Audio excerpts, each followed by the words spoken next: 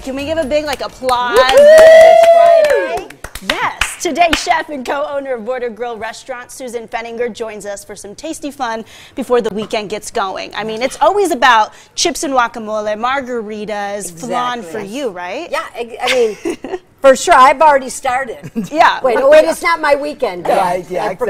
It- it's Yeah. always your weekend. But beyond food, I mean, you're able to infuse what you do in the kitchen with what you do out in the community, whether it's donating your time, donating your energy. And one of the things near and dear to your heart, you have this cool new pro- project, right? And it's called Cool Comedy Hot Cuisine, Yes. benefiting something near and dear to your heart. What is that? It is. It's um, it's a disease called scleroderma. Okay. And I have been on the board of the Scleroderma Research Foundation for well, actually many, many years, 25 years. What is the d- disease in a little the, bit more detail? the disease affects mainly women. It's a disease that overproduces, this is basic, overproduces scar tissue in the body. Ah. So it hits mainly women.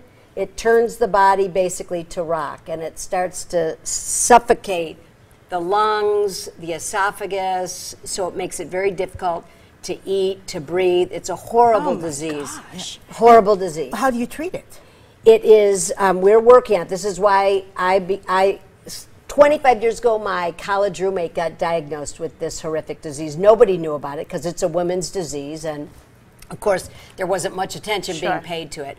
So she started the Scleroderma Research Foundation. I've been on the board for 25 years. She passed away, unfortunately, um, 10 years ago. But we've been doing this event called Cool Comedy Hot Cuisine, where there's fabulous comedians. Bob Saget, who is now on the board, did the event one year, and his sister was diagnosed two years later. I've talked to him. He has a mouth on him, and he is hysterical. He is hysterical. amazing. Yes. He is great. So he's helped you out. Yeah, and, And we what do do. you guys do? Yeah, we do. We specifically. do dinner in. We do L.A., New York, San Francisco, and we did our first Las Vegas event last year, and it was Jay Leno and Bob Saget. Usually, it's like you know Lily Tomlin, Robin Williams did it for like eight years.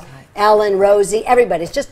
It's a very important disease because it doesn't get a lot of attention because it's very disfiguring and it affects Yeah, you women. don't so ever we hear did- about it. Yeah. You don't. That's why we're doing it, and we're working on research with Hopkins and UC San Francisco, and we're gonna we're gonna do this until we find a Find a cure. cure, And our next one is December eighth in New York. Right.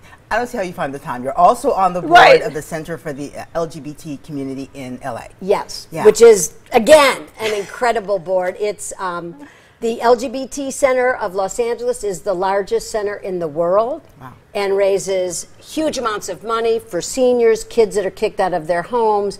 Obviously, for medical needs, legal. It's just an incredible organization. and how many moving. years have you been with them? Mm, ten years I've been on the board. Ten It's years. And you run two restaurants here in Vegas. Exactly. Two restaurants: Border Grill at the Forum Shops, at Caesars, But that's just in Las Bay. Vegas. You've got restaurants everywhere. We Do too, we've got four in Los Angeles: Border Grills, Mud Hen Tavern, another one opening at the airport in Terminal Four in like two weeks. Wow. And your partner in crime, Mary Sue, I mean, she's always with you as well? Well, you know, now we split up and you know You handle Vegas. You Uh, get- yeah, Right, Right, exactly. Well, we're glad you Exactly. handle Vegas because Yes. we get to have you on the show. Thank you. I love being here. We love you. I you. love We get Vegas. to munch really well. Yeah. I mean, we do love her company, don't get me wrong. But when I saw her coming through the newsroom, I got excited. Rikki even brought the plates. Right, she I was like, I got the well, you know like, we're going to want to eat. All right. We're Yeah. Gonna, we're going to weigh in in some headlines now. We've got